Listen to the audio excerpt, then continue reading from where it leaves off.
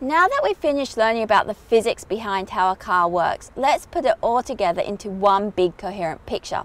A car uses its engine to convert chemical potential energy into the energy of motion, kinetic energy.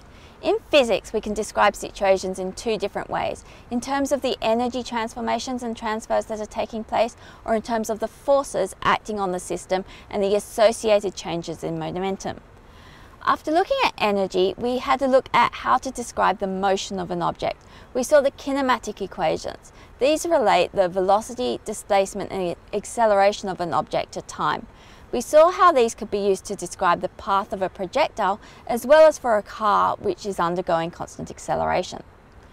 Newton's first law tells us that an object will only accelerate in the presence of an unbalanced force.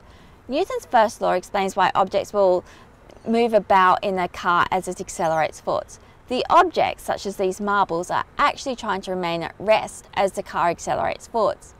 This is also why seat belts are important. They ensure that the occupants accelerate with the car and are not flung forwards through the windscreen. Newton's second law tells us how large a force is required to accelerate at a certain rate, while Newton's third law tells us that while the road pushes the car forwards, the car pushes the road back the same amount. This push comes from the frictional force between the tyres and the road. We learned about how to describe the frictional force. It is proportional to the frictional coefficient and the normal force from the surface. We learned about why wheels are more likely to slip and the driver consequently lose control when the road is slippery with a smaller coefficient. We looked at a very important conservation law in physics, the law of conservation of momentum. This law applies whenever the external forces acting on the system are negligible. We can use the law of conservation of momentum to describe what happens when two cars collide. We learnt how cars have crumple zones. As these crumple, they increase the time of the collision and consequently decrease the maximum acceleration. Finally, we learned about circular motion. When an object travels around a circular path, it is constantly changing direction. This requires an acceleration.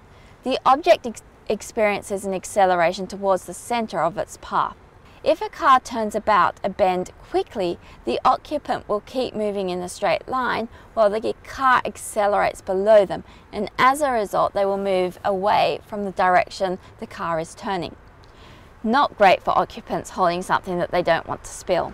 I hope that you have enjoyed this topic and that it has given you a better understanding of the sensations you experience while in a car.